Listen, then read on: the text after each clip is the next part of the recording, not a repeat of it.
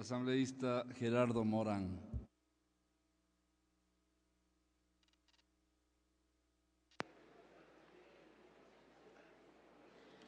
Gracias, señor presidente,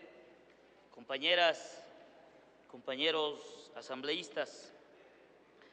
Como representante de la provincia de Bolívar, apoyo esta resolución en favor de los afectados por este allanamiento e incautaciones efectuadas en el cantón San José de Chimbo, especialmente en Tambán,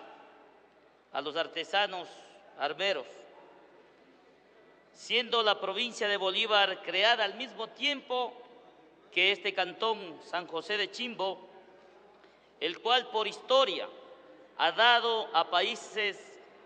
al país, perdón, ha dado al país grandes orfebres y artesanos,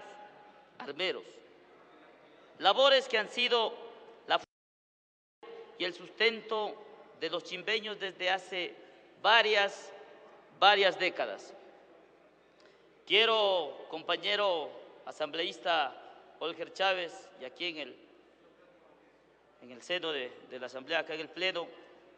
que se incluya en la resolución que el gobierno central tome medidas afirmativas dirigidas a implantar proyectos en el cantón San José de Chimbo, con el objeto de apoyar técnica y económicamente a los artesanos armeros,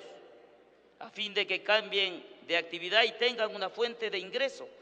que les permita el sustento para ellos y todas su, sus familias. La provincia de Bolívar ha sido una de las provincias que en la estadística una de las más pobres del país y no es justo que a este pueblo pobre y trabajador se le quite a nombre de disposiciones legales que no ven la pobreza, el sustento ni su modo de vida. Sin que el gobierno dicte medidas alternativas y ponga práctica, en práctica proyectos que otorguen perdón, el trabajo para el sustento de toda su gente.